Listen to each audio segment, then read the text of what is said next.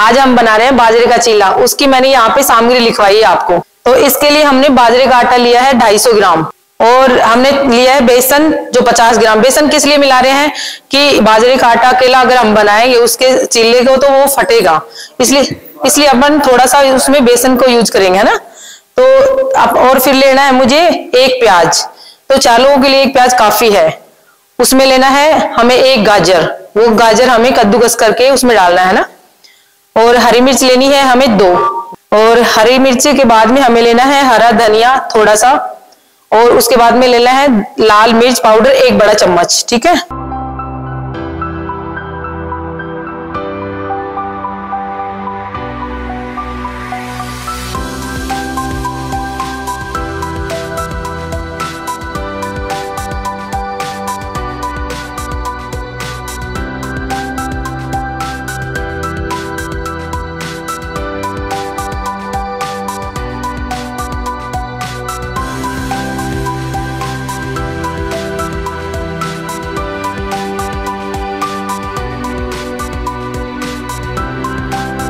सबसे पहले मैंने लिया है यहाँ पे बाजरे का आटा और बेसन। मैंने दोनों को मिक्स कर दिया है।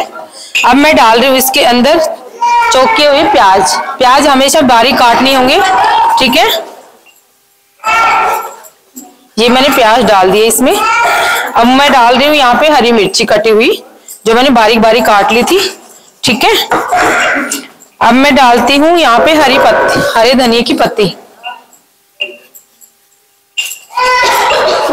अब इसमें डाल रही हूँ एक बड़ा चम्मच लाल मिर्च। एक बड़ा चम्मच धनिया पाउडर। आधा चम्मच हल्दी पाउडर। एक चम्मच जीरा। अब मैंने डाला है यहाँ पे कद्दूकस किया हुआ गाजर। ठीक है? सारी चीज़ों को मिक्स कर रही हूँ। मैं देख लेती हूँ इसमें कितना पानी क्योंकि गाजर बहुत सारा पानी छोड़ती है।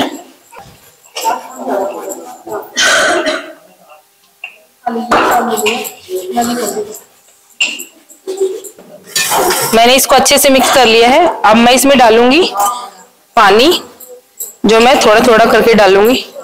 और इसको हाथ की सहायता से ही मैं घोल बनाऊँगी। मैंने ये मिश्रण बना दिया है। मैंने ये मीडियम साइज़ का ही मिश्रण बनाया है आपकी सहायता से। नमस्ते, मेरा नाम सुनीता है। मैं यहाँ युवा जागृति में नब्बे महिलाओं को जो ट्रेनिंग दे रही हूँ, वो नाबार्ड के द्वारा आजीविका और उद्यम विकास कार्यक्रम के तहत जो नाबार्ड से ये ट्रेनिंग चल रही है, वो हम महिलाओं को मिलेट्स पे ट्रेनिंग दे रहे हैं। आज हमने बाजरे का चीला बनाना सिखाया महिलाओं को। मैंने पहले सबसे पहले महिलाओं को उनके बनाने की रेसिपी और बनाने की विधि सिखाई है। और अब मैंने अब महिलाओं को मैंने ओरिजिनल तरीके से बनाना उनके हाथों से मैंने उन महिलाओं को बनवाया है और बना के उन्हीं महिलाओं को खिलाया भी है। सभी महिलाएँ खुश है, बाजरे का चीला खा के। मैं धन्यवाद दूँगी युवा जागृति को, नाबार्ड को, कि ऐसी ट्रेनिंग समय प्रोवाइड करवाई, जो कि हम हर महिलाओं को मिलेट्स मिलेट्स के ऊपर ये ट्रेनिंग दे रहे हैं। तो हर महिला खुश है, क्योंकि तो क्या था कि पहले मैदे की चीज़ें खाते थे बच्चे, महिलाएँ, बुज़ुर्ग सब कोई। क्योंकि तो अब हम चाह रहे हैं कि हर महिला और उनके बच्चे बाजरे के प्रोडक्ट खाएँ, जिससे उनके, उनको कोई भी नुकसान ना हो, क्योंकि तो मैदा खा के हर कोई परेशान है। और अब बाजरा खाएगा तो बाजरे से उनको पौष्टिक आहार मिलेगा, जिसमें प्रोटीन फाइबर विटामिन की बहुत सारी मात्रा होती है।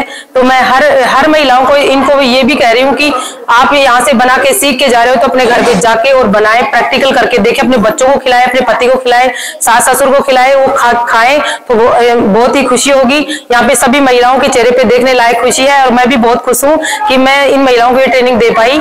धन्यवाद, युवा जागृति और नाबार्ड।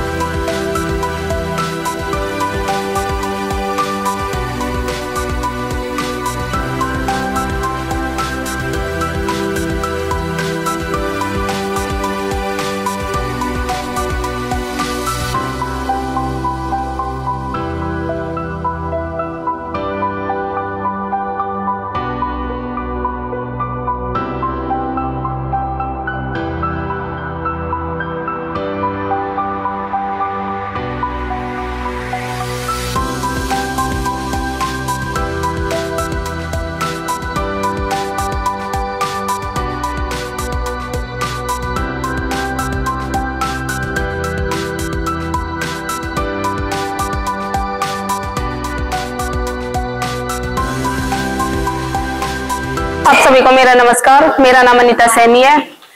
हमें नाबार्ड की तरफ़ से मिलिट्स की ट्रेनिंग दी जा रही है, जिसमें कल हमने बाजरे के द्वारा पकोड़े बनाने की विधि सिखाई गई और आज हमने चीला बनाना सीखा और हम अपने बच्चों को ये हेल्दी खाना खिलाकर बहुत खुश हैं, जिसे हम सीखकर अपने घर में ही बनाकर बच्चों को खिला सकते हैं, ना कि हम बाहर का खाना, क्योंकि बाहर का खाना खिलाने से बच्चों की सेहत खराब हो जाती है, इसलिए मैं धन्यवाद देना चाहूँगी नाबार्ड और युवा जागृति संस्थान को, जिन्होंने हमें इस प्रकार की ट्रेनिंग दी। धन्यवाद।